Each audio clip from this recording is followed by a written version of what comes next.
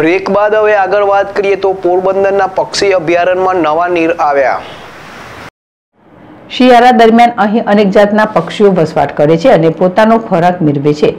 આ અભયારણ્યમાં છેલ્લા થોડા દિવસમાં પડેલા સારા વરસાદના કારણે નવા નીર આવ્યા છે અને ત્યાં પક્ષીઓનો પણ જમાવડો થતાં સુંદર દ્રશ્યો જોવા મળી રહ્યા છે. પોરબંદર શહેરની મધ્યમાં આવેલા વેટલેન્ડમાં ઉનાળા દરમિયાન પક્ષી અભયારણ્ય ખાતે વેટલેન્ડમાં પાણી સુકાઈ ગયું હતું. ઉલ્લેખનીય છે કે અકસ્માતે ઘાયલ થયેલા પક્ષીઓ અને પતંગના દોરાથી ઘાયલ થયેલા પક્ષીઓ કે જેઓ ઉડાન ભરી શકતા નથી, તેવા પક્ષીઓ આ અભયારણ્ય ખાતે કાયમી વસવાટ કરે છે.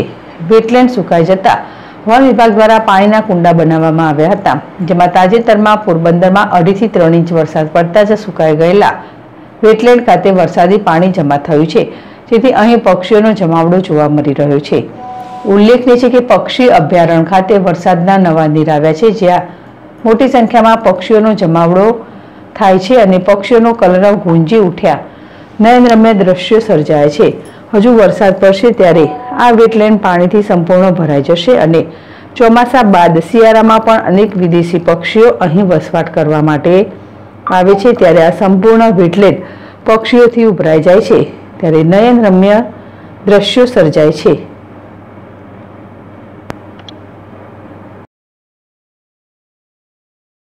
પોરબંદર પક્ષી અભયારણ્ય એ એશિયાનું સૌથી નાનામાં નાનું પક્ષી અભયારણ્ય છે ફોરેસ્ટ ડિપાર્ટમેન્ટનું અને એકમાત્ર એવું પક્ષી અભયારણ્ય છે જે નાઇન પોઈન્ટ થર્ટી થ્રી હેક્ટર્સમાં ફેલાયેલું અને સિટી એરિયાની એકદમ મધ્યમાં આવેલું છે.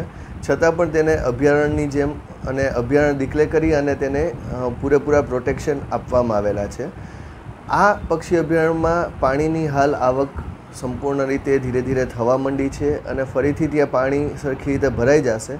જેથી કરીને શિયાળાની ઋતુ દરમિયાન ફરીથી યાયાવર પક્ષીઓનું અહીં આવવાનું શરૂ થઈ જશે અને ફરીથી આ પક્ષીઓ અહીં કલરવ કરતા જોવા મળશે.